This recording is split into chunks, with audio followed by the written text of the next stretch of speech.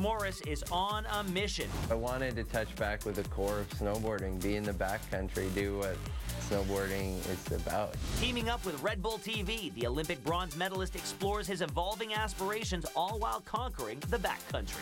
In Motion can be watched today at 9 p.m. Eastern for 24-hour exclusive on Red Bull TV.